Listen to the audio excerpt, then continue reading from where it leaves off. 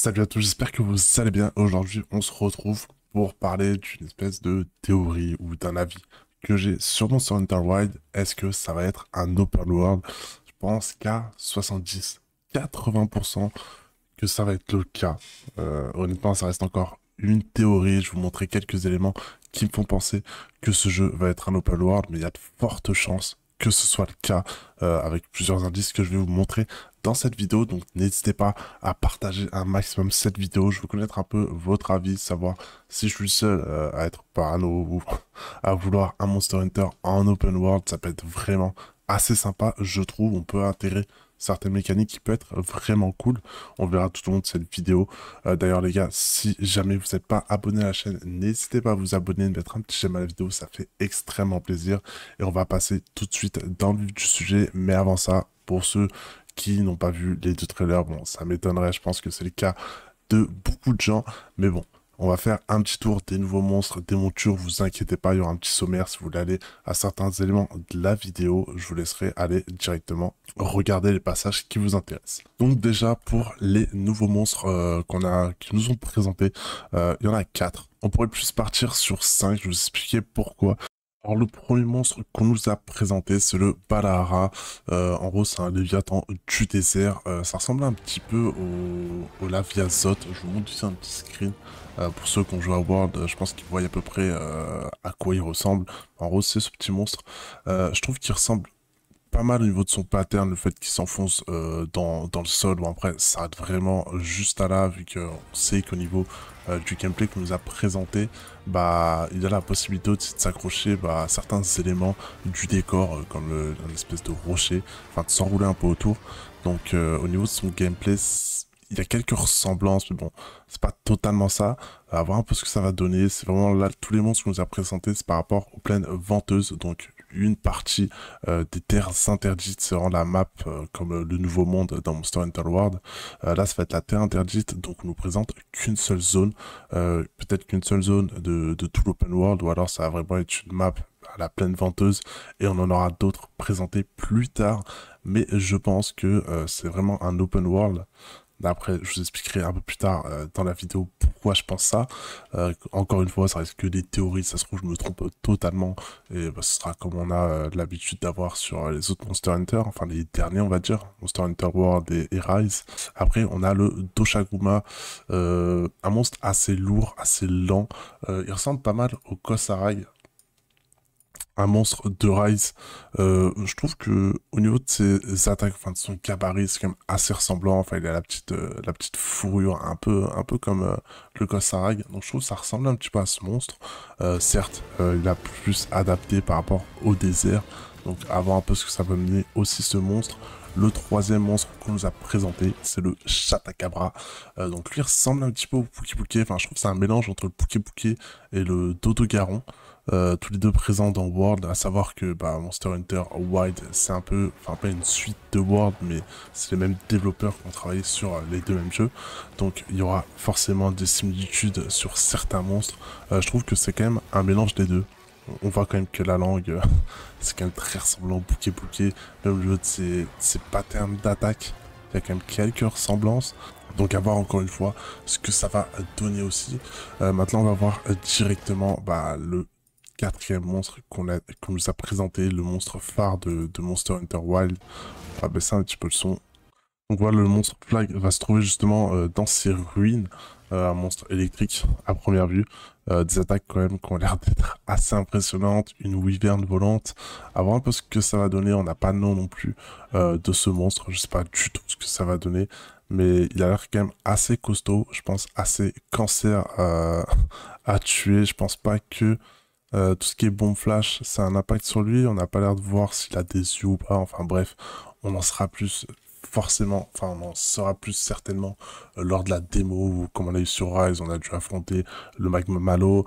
Dans World, j'ai un doute si on, on affrontait le Nerigante, mais du coup je pense que là, dans la démo on pourra affronter ce monstre et se donner un peu un avis, voir, euh, voir ce que ça vaut. Il a l'air quand même assez intéressant et on peut voir qu'il n'a pas forcément des yeux. Donc je pense que les bombes flash ça va être mort. Euh, bombe sonique peut-être? Je sais pas du tout. Peut-être qu'il sera immunisé, contre tous ces objets-là. À voir un peu ce que ça va donner. Et le cinquième monstre qu'on nous présente, enfin qu'on nous présente, on voit pas vraiment, mais on peut se donner une idée. Euh, on peut être quasi sûr euh, qu'il apparaîtra en tant que, grand monstre. Je vais essayer de vous retrouver le petit passage on voit justement bah, ce que je voulais vous dire. Voilà. Juste ici, on peut voir que euh, ça ressemble un peu... ça ressemble un petit peu. C'est comme le grand Giro ou les petits chagras qu'on a sur World. Forcément, on aura l'adaptation en grand monstre. Donc, euh, on voit un petit peu les, petits pecs. Enfin, vraiment designé dans le désert. Euh, donc forcément, il y aura des grands monstres, on voit des petits bébés aussi. Ou alors, est-ce que c'est les petits bébés Non, ça m'étonnerait. Je pense que ça c'est vraiment les, petits euh, je sais pas quoi. Et il y aura forcément le grand je sais pas quoi. Avoir le nom qu'il aura. Mais du coup, ce sera, enfin, c'est le cinquième monstre qu'ils annoncent sur le jeu. avoir un peu ce que ça va donner si on aura plus d'infos aussi par la suite. Donc maintenant, on va parler vite fait aussi de la monture euh, qu'on nous présente. Il y a pas mal de choses à savoir euh, par rapport à ça. Donc c'est le secret. Euh, en gros, grâce à lui, on pourra avoir une deuxième arme de possible pendant le quête. On pourra justement uniquement switcher d'armes dès qu'on sera sur la monture. Je pense pas qu'on pourra le faire dès qu'on sera justement bah, sur la terre ferme mais du coup bah, sera possible uniquement sur la monture de, ce qu'on peut comprendre par rapport au trailer à savoir aussi, je vous mettrai euh, des petits passages du trailer qu'on peut euh, tirer, enfin utiliser nos armes depuis notre monture. On peut utiliser aussi notre front, donc ça reste quand même super intéressant. Euh, avoir un peu la mécanique de gameplay que ça pourra donner. J'espère qu'il y aura quand même certains nerfs, certains nerfs sur, par exemple, je sais pas, si vous jouez des armes à distance, j'espère qu'on fera quand même moins de dégâts par rapport si on serait sur la terre ferme, sinon aucun intérêt de chasser euh, au sol. Très clairement, si on joue des armes à distance, ça va être clairement trop fort. Euh, même, euh, je sais pas, si on joue des épées au corps à corps, enfin, un katana, grande épée, enfin, je sais pas un peu ce que ça va donner. Est-ce que ce sera vraiment pénalisant ou avantageux de se fight sur une monture? Euh, je sais pas trop, on n'a pas vraiment eu d'infos là-dessus. Mais voilà, sachez qu'on peut se fight par rapport, enfin, sur la monture, on peut utiliser le front, on peut changer d'arme. On aura aussi peut-être la possibilité d'installer un camp. Ça va aller justement aller dans ma, théorie euh, d'un open world. Là, on peut voir euh, ce petit bout de tissu pourrait peut-être permettre de déployer un camp, euh, voir parce que ça va donner, sachant qu'on a aussi un espèce de cycle nuit-jour, on va y venir tout de suite vu qu'on a fini avec la monture. Euh, on peut le voir justement dans le petit passage que je vous ai montré pour le cinquième monstre, là on peut voir que ben, on est sur une zone voilà ensoleillée, il y a de la verdure, enfin il y a plein de choses. Là on est passé bah, sur une zone un peu plus, enfin dans un cycle nuit on va dire. Enfin, je sais pas si vraiment c'est la nuit ou si c'est par rapport aux tempêtes de sable qu'on a des fois sur le jeu, mais on voit que l'environnement a totalement changé. Donc peut-être la possibilité d'avoir justement un cycle jour-nuit euh, bien plus travaillé qu'on a sur les dans, dans, les anciens opus, euh, justement où bah, les monstres vont changer. On peut voir aussi juste avant où là on a un espèce de, de petit troupeau, je sais pas c'est quoi le monstre, et on voit que la nuit ça change complètement. Il y a vraiment des monstres différents, même l'atmosphère est complètement euh, différente.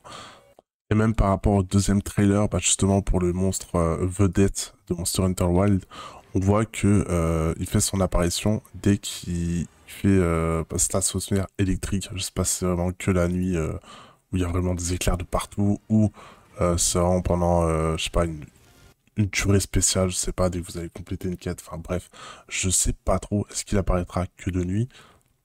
Honnêtement, il a quand même un design euh, qui fait qu'il a quand même pas mal de choses luminescentes sur lui, donc euh, peut-être que des théories, peut-être que je fais totalement fausse route, mais je pense qu'il y aura quand même un certain cycle jour-nuit, et même sur ces phrases, enfin c'est quand même des, des, gros indices, des environnements dynamiques en, en évolution constante, donc ça peut signifier justement un cycle jour-nuit, une histoire de monstres et d'humains dans un monde à deux visages, d'un côté des terres rudes et implacables, donc là c'est vraiment bah, dès qu'il fera nuit ou quelque chose comme ça, comme on a vu justement bah, sur les trailers, où des monstres se battent pour, des ressources limitées, et d'un autre un paysage haut en couleur et dépendant de vie, donc comme on a pu voir, il y a pas mal de petits monstres, on va dire herbivores. Euh, enfin voilà, je pense qu'il y aura quand même un cycle jour-nuit à voir encore une fois, si on a plus d'infos un peu plus tard, mais je pense qu'on aura un certain cycle jour-nuit bien plus travaillé avec bah, justement une biodiversité différente. Certains monstres apparaîtront peut-être que de jour, peut-être que de nuit. Enfin bref, Voilà un peu sur quoi je me base par rapport à ce cycle-là. Et maintenant, on va parler directement de pourquoi je pense que Monster Hunter Wilds va être un open world. Comme je dis, il y a peut-être 70%, 80% de chance, de mon avis, que ce soit le cas avec tous les indices, bah, enfin tous les indices, tout ce qu'on a pu nous montrer dans les gameplays. Déjà, premièrement, bah, les montures qu'on a pu voir, euh, j'ai l'impression qu'on a un espèce de, camp mobile. Enfin, ce sera peut-être le cas, peut-être que je me trompe totalement sur une autre fonctionnalité ou c'est juste un design euh, bah, du, de notre monture. Mais je pense que déjà le premier indice, c'est par rapport à notre monture. Euh, l'évolution constante, que ce soit un cycle jour-nuit, peut-être que ce sera totalement pas le cas, mais je trouve que ça peut euh, être un petit indice pour un open world justement d'avoir vraiment une biodiversité qui va changer selon l'endroit de la map où on est, le fait de pouvoir poser des camps, passer la nuit pour affronter certains monstres, je trouve que ça peut être quand même une mécanique assez intéressante pour avoir un gameplay vraiment très enrichissant et vraiment avoir une biodiversité euh, assez impressionnante sur, enfin, une première fois sur Monster Hunter World, enfin, sur Monster Hunter Wild. On a aussi ce petit tweet euh, de Monster Hunter France, enfin, ça vient du Monster Hunter euh, officiel. On nous parle, bah, il y a cette petite phrase qui dit que Mélan sans interruption, attends, il y a cette phrase, enfin il y a ce petit tweet qui dit que Monster Hunter World représente une avancée considérable en termes de narration pour la saga. Donc ça on l'a vu, il y a quand même pas mal de textes, le fait que notre perso puisse parler, enfin bref, ça n'a rien à voir avec la théorie open world, mêlant sans interruption cinématique et séquence de jeu sans temps de chargement. Donc en gros, pour ceux qui ne le savent pas, je sais pas à partir de quand ça a changé, je crois que c'est à partir de World, le fait que euh, en gros vous aviez, dans chaque zone que vous allez visiter, euh, enfin il y avait plusieurs zones, généralement on avait 5 ou 6, enfin quelque chose comme ça. Alors vous allez dans une zone et toutes ces zones, enfin toute cette partie de la map, il y avait, enfin, il y avait des zones numérotées, zone 1, zone 2, zone 3, zone 4. À partir de World, on pouvait les traverser sans temps d'interruption. Donc est-ce qu'il parle de ça?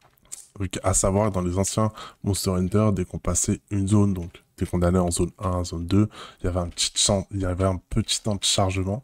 Euh, est-ce qu'il parle justement de ça ou est-ce que vraiment euh, c'est le fait qu'il n'y ait plus de chargement pour changer de map, enfin changer de secteur de la map? Bref, vous m'avez compris. Est-ce qu'on pourra justement bah, directement se, déplacer de partout comme un open world? Et c'est pour ça qu'il euh, bah, rajoute cette petite phrase. Ou alors c'est comme je vous ai dit par rapport à avant, le fait de changer d'une zone à une autre, comme on a eu à partir de World, ou peut-être avant, mais je crois que c'est à partir de World, euh, où justement changer de zone ne prenait, enfin il n'y avait plus de temps de chargement, est-ce qu'il parle de ça? Enfin bref. Pour moi, c'est encore un petit indice euh, qui fait que ce sera peut-être un open world. Il y en a encore d'autres, euh, comme on voit par exemple sur les gameplays, on va aller voir ça tout de suite. Donc par exemple, je sais pas si on regarde, surtout dans le deuxième trailer, je trouve que quand même les je sais pas le terme, on va dire le, le fond, je trouve qu'il est quand même bien élargi. On voit sur la course poursuite que, que les maps ont l'air quand même immenses. Donc est-ce que c'est qu'une petite zone? Mais je trouve que enfin, c'est quand même assez immense. On voit que bah, la zone de derrière, c'est là où on voit le, le, le monstre flag, enfin le flagship, le monstre euh, tête d'affiche euh, de Monster Hunter Wild. Enfin, il est vers cet endroit-là, tout simplement. Donc euh, je pense qu'on peut s'y rendre à pied je crois pas que sur les autres opus, euh, on ait la possibilité justement de voir bah, d'autres zones, d'autres maps, enfin d'autres zones euh, des maps. Enfin, je commence à vous perdre, mais voilà, on n'a pas la possibilité. Je sais pas si par exemple on était euh, au plateau de corail, on pouvait pas aller voir, enfin on pouvait pas voir le désert. enfin bref, je sais pas si vous m'avez compris, mais je crois pas qu'on pouvait voir d'autres parties de la map. Et là, on voit quand même, enfin, d'autres zones. Ça a l'air quand même assez large le fait d'être à ce point-là et se dire bah, qu'on voit quand même une autre partie de la map où on a le monstre vedette, euh, je trouve ça quand même assez gros. Enfin, je trouve quand même que les rendus en arrière-plan sont quand même assez larges. Et on peut se dire que bah, ça fait partie justement de la même map. Elles ont l'air quand même assez immenses, ce qui me fait dire qu'aussi, euh, bah, ça peut être un open world, peut-être un peu payé dans l'explication, mais J'espère que vous m'avez compris sur ce que je voulais dire, mais je trouve que voilà, les, les arrière-plans sont quand même assez énormes. Enfin, juste le fait d'être ici et de se dire qu'on peut aller au moins jusqu'à là facilement et qu'il y aurait peut-être d'autres chemins qui vous permettent justement bah, d'aller à d'autres zones. Enfin, je sais pas, je trouve que les arrière-plans sont quand même vraiment énormes. Je trouve que les distances enfin, des maps ont l'air vraiment gigantesques. Donc, euh, à voir ce que ça peut donner. Même là, enfin, là, on voit bien que bah, cette zone, c'est là où on a le monstre euh, tête d'affiche. Et je pense qu'il y aura forcément un petit chemin pour y accéder. Du coup, bah, de ce point-là au point désertique où on était juste avant, euh, j'ai pas l'impression qu'ils aient changé de map. c'est vraiment encore les, comment ils appelaient ça, les plaines, euh, plaines venteuses. Donc euh, voilà, peut-être que je me trompe. Mais pour moi, je pense que ce sera un open world. Donc voilà un peu bah, tous les indices que j'ai eu à ma disposition pour, pour me faire cette petite théorie. Sachant qu'en plus, le jeu va être crossplay, donc PS5, PC, Xbox One, enfin bref, tout le monde pourra jouer sur le même jeu. Pourquoi pas un open world? Euh, Vraiment, enfin, je sais pas, je trouve que ça pourrait bien coïncider. Donc euh, voilà. Voilà un peu ma théorie. Peut-être que j'espère un peu trop euh, un open world sur ce jeu et que je m'emporte un petit peu trop. Enfin bref. J'aimerais bien avoir votre avis. N'hésitez pas à lâcher un petit commentaire sur cette vidéo pour, pour donner justement votre avis. On aura peut-être plus d'infos à partir de vendredi. Apparemment, euh, on a eu quelques tweets où certaines personnes ont eu certaines infos à la Summer Game Fest. Donc, euh, à voir ce que ça va donner. Euh, est-ce qu'on aura plus d'infos sur le gameplay Est-ce que ce sera un open world Enfin bref, on verra tout ce qu'on aura comme info. Et je crois aussi qu'on aura une bêta, je crois, le mois prochain. Ou à la fin du mois, j'ai un doute là-dessus, mais je crois que c'est le mois prochain. Il y aura une bêta privée euh, certaines personnes pourront y jouer. Je pense que ce sera certains gros youtubeurs, streamers, enfin bref. Euh, je pense que ce sera quand même assez limité. Donc euh, à voir quand est-ce qu'on aura une bêta ouverte pour tout le monde. Je pense que ce sera plus fin d'année, quelque chose comme ça, septembre, octobre, peut-être novembre. Enfin bref. Je vous tiendrai au courant de toute façon. N'hésitez pas à rejoindre mon Discord si ça vous intéresse pour débattre justement de toute cette petite théorie. Et sur ce, je vous dis à la prochaine et prenez soin de vous.